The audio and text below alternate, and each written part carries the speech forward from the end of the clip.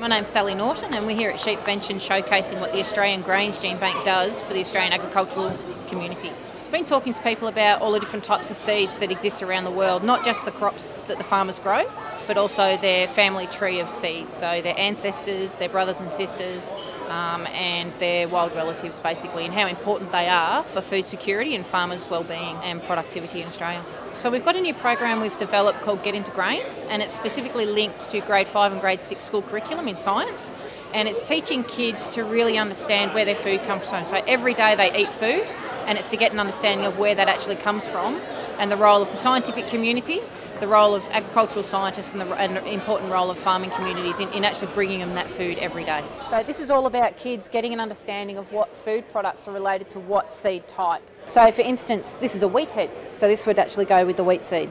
This is hummus dip made from chickpeas, so this would go down to the chickpea pile, for example. There's been quite a lot of interest. Some of the grains, obviously, uh, growers around here and farmers around here are actually utilising some of the grains as forage types. So there is some interest in, and some knowledge of particularly some of the cereal grains uh, more than anything.